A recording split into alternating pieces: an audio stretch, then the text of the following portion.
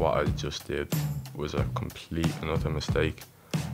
M- me and my girlfriend at the time were in a five year relationship, so it was pretty serious. And this is the only time I ever did cheat on her.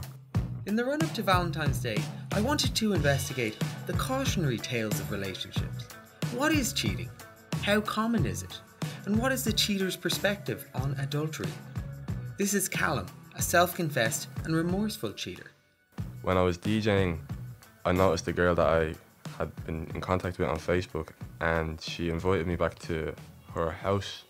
It was a really big house, it was a beautiful house, and I started to talk to her about it. I was really impressed, and I just was acknowledging that, and she had invited me to look around the the house and give me a quite a tour.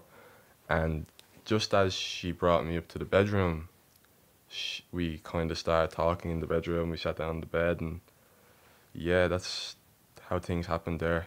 Uh, one thing led to another.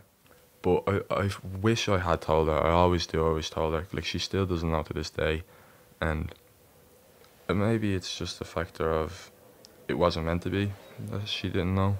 But I do really wish I told her, and I still do to this day. I wish I told her because I feel like she deserves to know. I spoke to Dr. Jaclyn Cravens, an associate professor at Texas Tech University and licensed marriage and family therapist, to find out what are the motivations for cheating. So, why do people actually engage in affairs? I think society tends to believe really strongly in what we would refer to as the relationship deficit explanation behind it that people have an affair because there's something wrong within their committed partnership.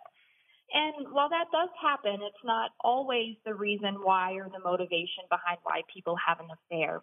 Um, sometimes people feel bored with their life, not just within their relationship, and this is a way to have some kind of new excitement in their life. Um, they have lost a connection to themselves in some important way, and maybe the affair has very little to do with their partner or their relationship, but they're individually getting something from that process. You also see situational reasons where it's an unplanned affair. It, it kind of happens, they stumble into it. Maybe they weren't intending to violate those boundaries of their relationship, but circumstantial things happen and an affair occurs. Sexual desire is also a common reason as well. So, whether there's a lack of sexual fulfillment within their committed relationship, such as they're not having sex in the way that they feel comfortable asking for from their partner, or lack of sexual desire in the sense that there there may be divergent desire within the relationship. Other other motivating factors may include personality factors. So individually, somebody may be high in neuroticism or narcissism. Research has also shown that that can be a motivating factor behind why people have affairs. Um, and then probably the last reason that I would highlight is more recently we've seen some research that has shown for women specifically disproportionate labor within the marriage may be a reason that pushes women to step out of their committed partnerships to defy these traditional gender roles. So they may believe that there's an imbalance in labor division. It creates resentment towards their partner they're then feeling unfulfilled within their relationship and they may step out of the relationship and engage in an affair. Have you ever cheated on someone? Yeah. 70%, I'm telling you, 70% of all people have cheated. Why did you do it? Uh, again, my needs weren't met in the relationship. Have you ever cheated on someone? I have not. And have you ever been cheated on? I have not. Actually, it's more normalized to cheat on relationship than in the past, for example. And I personally never cheat in a relationship, and I hope I've never been cheated. However, I cannot confirm it so far. No. Genuinely have not. Came close with loads of times, but I have not, my real friend, no. No, never. I wouldn't. I haven't been in a relationship before, so I haven't been cheated on. Uh, I don't remember. And then, have you ever been cheated on? As far as I know, not.